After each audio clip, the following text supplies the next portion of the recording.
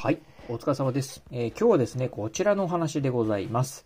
えー、皆さん、赤線、青線、知ってますか？というお話でございます。えー、先日ですね、え私ね、こういう本読みました。え野崎康介さんのね、書かれた本、紀州のドンファンという本を読みました。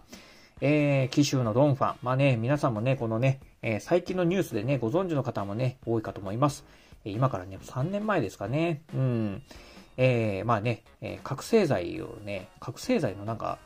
なんかでね、あの、大量摂取でね、えー、お亡くなりに、まあこ、えー、殺害されたっていうね、非常にね、まあ、和歌山のね、えー、まあ、有名なね、資産家、資産家というか実業家なんですかね、の方ですよね。そしてね、つい先日なんですがね、えー、元妻、まあ、50歳以上ね、えー、年の離れたですね、25歳の元妻にですね、えー、元妻が、ね、容疑者としてね、逮捕されましたっていうね、ニュースがね、つい先日ね、出ておりました。まあ今日はね、ちょっとそんなね、えー、ニュースの話題を取り上げるんじゃなくてですね、このね、お亡くなりお亡くなりになられた野崎康介さん、えー、この方ね、5年ぐらい前にね、紀州のドンファンというね、本を書かれてたんですよね。えー、この本ね、えー、この本、まあ、非常に面白い内容だったんですが、この中でですね、まあ、えー、よくね、赤線とかね、青線っていうね、単語が出てきます。私もね、このね、赤線とか青線っていうね、言葉、まあ単語ですね。まあ、えー、ちらちらとね、こうネットなんか、まあでね、見たことはあるんですけど、具体的にどういうものなのっていうのはね、あんまり分かってなかったんでね、今回ね、ちょっと改めてね、調べてみました。まあね、私のようにね、こう40代半ば、まあね、40代、えー、よりね、下の人はですね、この赤線青線という言葉ね、ほとんど知らない方もいらっしゃるんじゃないかなと思ったんで、今日はね、えー、そんなね、赤線青線、まあね、どういう言葉なんだろうというところをね、ご紹介してみたいと思います。えー、戦後間もない日本ではね、売春の合法地区はあったんですよ、ということでですね、まあ、赤線、青線というのはね、こうね、売春にね、関わってくる、えー、単語でございます。じゃあ、まずですね、赤線というのはね、どういうものかというのをね、お伝えするとですね、えー、半ば公認で売春が行われた区域のことを赤線というそうでございます。えー、まあ、半ば公認なんで、完全に認められてるっていうわけではないんですが、まあ、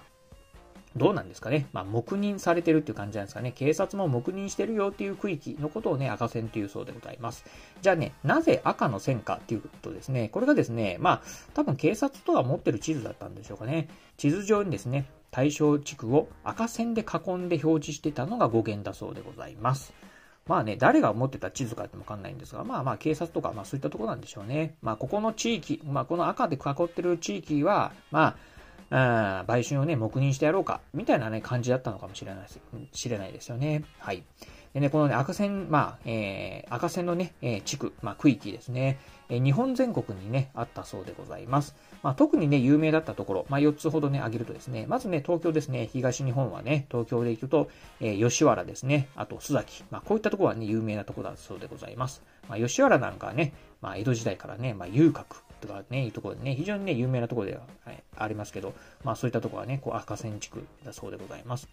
えー、そしてですね、えー、西日本で行くとですね、大阪ですね、大阪はですね、飛田であったりですね、あと松松島ですか。まあこういったところがね、有名だそうでございます。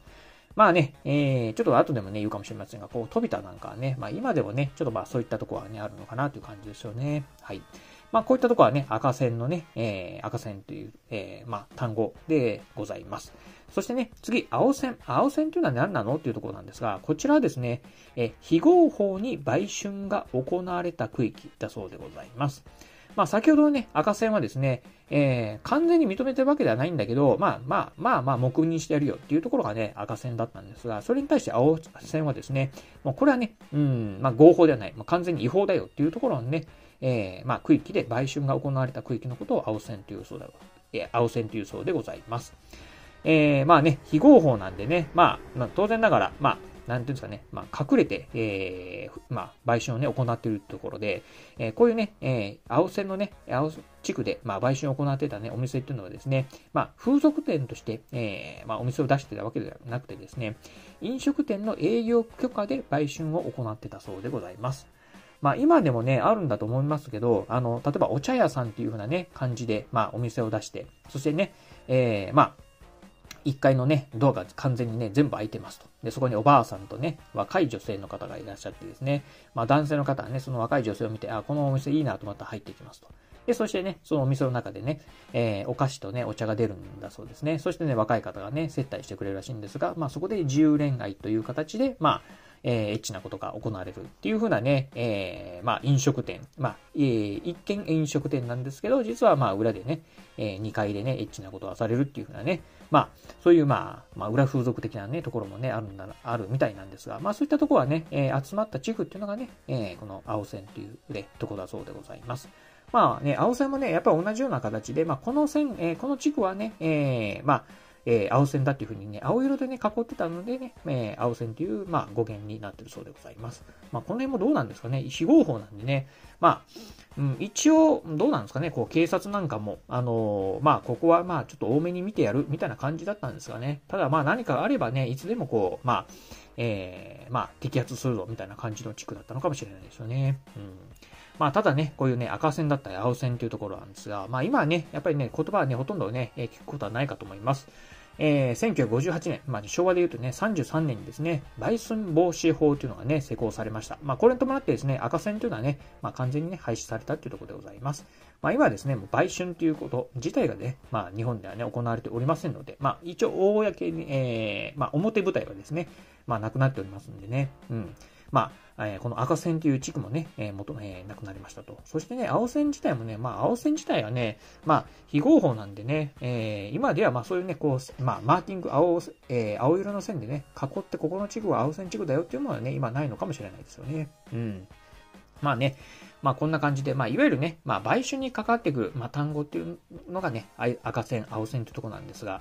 まあもしかするとね、えー、この21世紀になってくるとですね、うん、まあこういうね、地区っていうのはね、ほとんどね、今なくなってるのかなというところですよね。うん。まあ私もね、まあ行かないんでね、よくわかんないんですが、まあただ、なんかね、まあこの、ここの辺の地区なんかね、まだね、えー、そういった地区もね、あるとはね、聞いておりますんで、まあね、どうなんですかね。ただね、こういうコロナの関係、まあコロナになってね、うん、もしかするとね、ちょっとその辺もね、変わってきてるのかなと。で、逆にね、このね、新型コロナウイルス、まあね、こういう騒動がね、少しね、収まるとですね、またね、こう風俗っていうのもね、また新たなね、ステージに、ね、なるのかもしれないですよね。うん。まあまあ、ちょっとこの辺はね、まあ私もわからない分野もありますんでね、えー、どうなるのかっていうのは全くわかんないところではあるんですが、まあ今日はですね、もう今ではね、えー、使われてない言葉、赤線、青線っていうね、言葉についてね、今日はね、ちょっと解説してみました。えー、今日のね、お話、まあ面白かったな、参考になったなと思いましたですね。えー、高評価、またね、チャンネル登録、まだの方ですね、ぜひチャンネル登録の方よろしくお願いいたします。またですね、今日ご紹介した、このね、紀州のドンファンっていう本ですね。あのー、まあね、この野崎康介さん、まあすでにね、お亡くなり、まあ不幸なね、えー、事件に、えー、見舞われてね、もうすでにね、え、お亡くなりになられている方ではあるんですが、非常にね、面白い本でございます。え、この本ね、え、動画の概要欄の方にもね、リンクの方貼っておきますんで、ぜひね、興味ある方いらっしゃいましたらね、ぜひそちらのね、リンクの方からチェックしてみていただければなというふうに思います。はい、ということで今日はこの辺でお話を終了いたします。今日もご視聴いただきまして、ありがとうございました。お疲れ様です。